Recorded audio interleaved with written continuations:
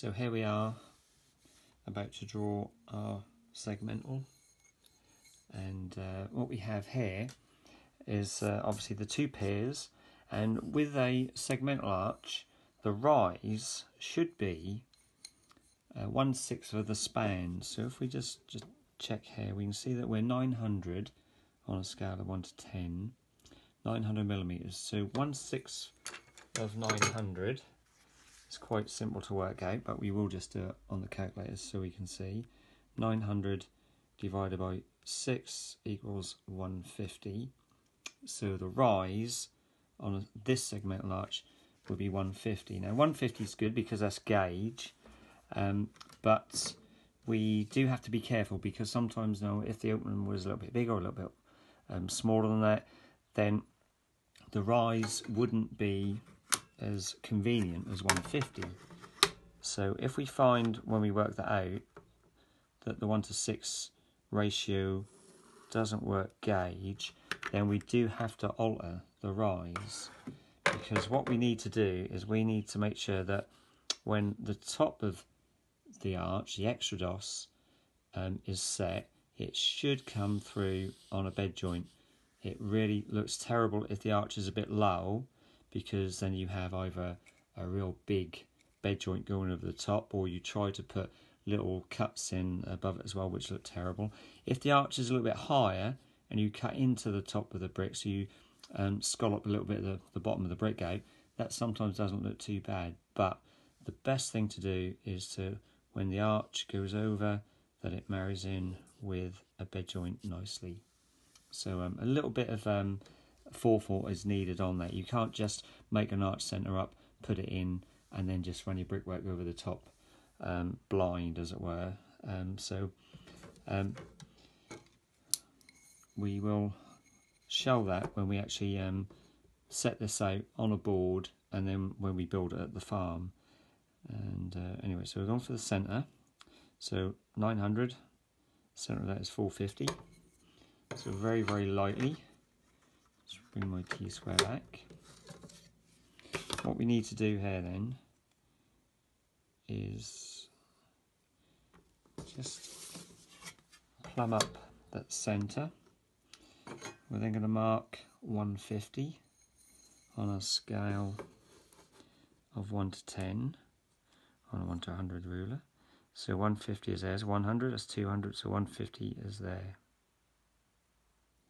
So that is the rise of our arch.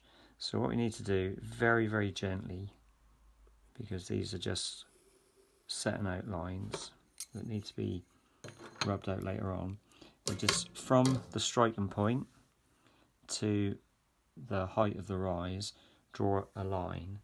And then what we need to do is then bisect that. Bisect that just means we have to half it. So if we put the point in at the springing point, just make this a little bit bigger. All you have to be sure of is when you um, bisect um, any lines to get these angles, you just have to make sure that the compass is over half, in half is eight, over half the distance so that you can be sure that your two arcs will be big enough to cross each other. So very, very lightly. So all we need to do now is draw this line right through there. We need to just put our T-square back in place. And then where the centre line crosses it, that becomes our striking point. So we now need to get the compass back into there to the springing point.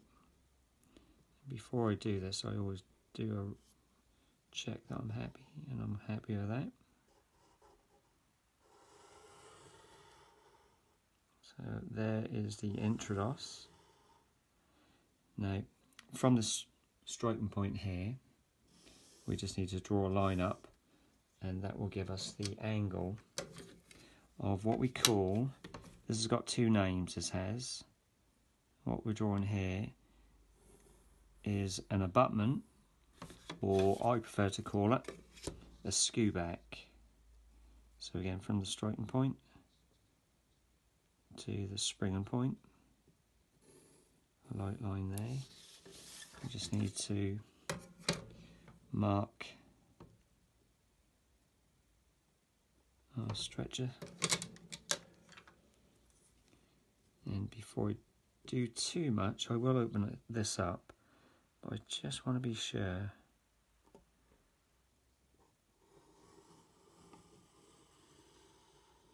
That this then works out with our t-square because I've got our gauge mark there and that works through there very nicely.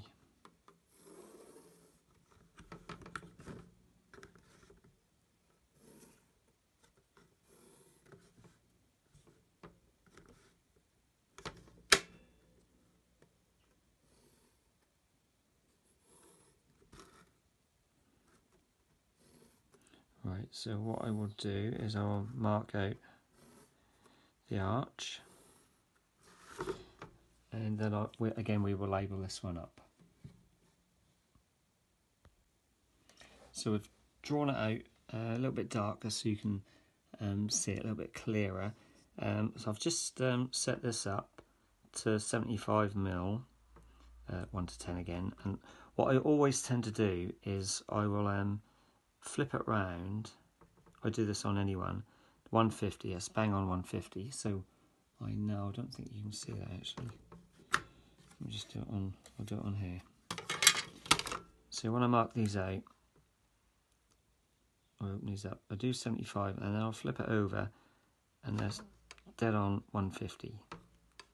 So um, the same as if I'm doing a stretcher, the stretcher is 225, I'll do 225 and I'll always flip it around for 450. That one needs slight adjustment. Just so I know I've got exactly the right, there we are, 450. So I'll always double check by just flipping the dividers round.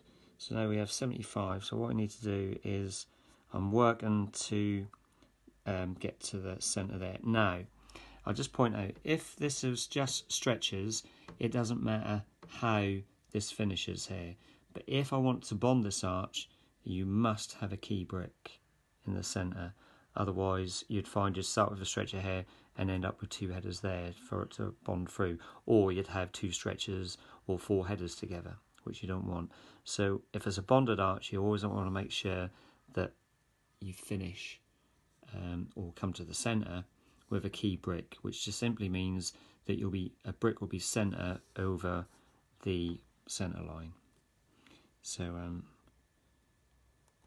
I haven't decided what I'm going to draw this in yet, but um, I always think bonded arches look better, so we're going to go for a bonded arch. And hopefully this will be, that's pretty good for centre. So, because I like that, I'm going to work my way back. Just lightly marking. And again, because it's going to be an axed arch, I'm marking them out on the extrados, like we said before, because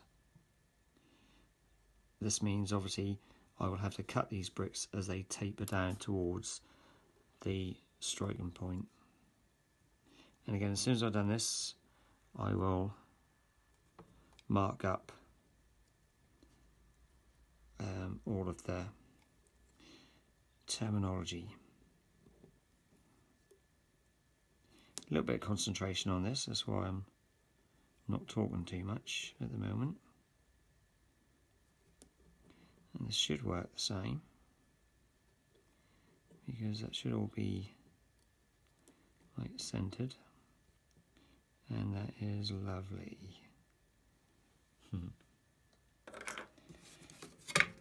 So, get rid of my T-square, give me a bit of space, and then from the extrados to the striking point, I then radiate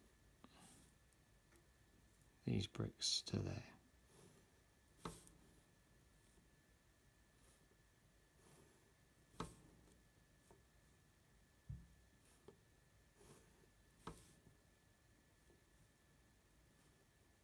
So once um, we've gone through these, then obviously the principles of the setting out, we just simply take to a bench with a piece of ply and everything that we're doing here, we just replicate on ply. And then obviously that ply then becomes our arch centre or turning piece, depending on how big it is the difference between, well, just um, on the terminology, the arch centre is the timber support that goes in to hold the arch in place as you're building it. If you're actually doing just a small arch, you might get out one piece of wood. And when you get out one piece of wood, that's called a turning piece. Right, so quite like that. And because I think uh, a bonded arch does look better, we will bond it. So I'm just putting this back in. I just need to mark um, a header. And the way I'm going to do that is to go there. So from a striking point to where my header is, and uh, again, archers always start or look better when they start off with a stretcher. So, oh, that isn't tight enough. I think I will use this one instead.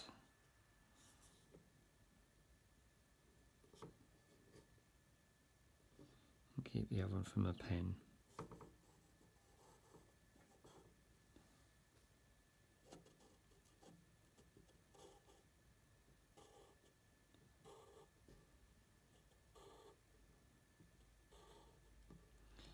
you see the reason why we have an odd number of bricks for a bonded arch just so we start with a stretcher stretcher and the center will always be uh, bondable. Okay so I'll just draw these all in pen and then we will um, do all the terminology again. So drawn in a little bit heavier and coloured and ready for the terminology. Uh, again, we'll just go with the familiar ones. We know here we've got the span. We know here we've got the rise. Now, what we just said about the rise should be one sixth of the span. Of the span. Ideally, but again, as we said before, and we do sometimes alter the rise just to make sure that the head of the arch comes courseable. So I'll just go head must be courseable.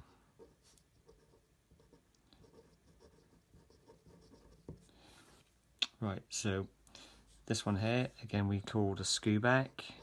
Um, it could be called, uh, as we said before, an abutment, but I prefer to call it a skewback, so that's what that's being called there. Um, here we have a bird's beak or a bird's mouth brick, which is always the awkward one to cut.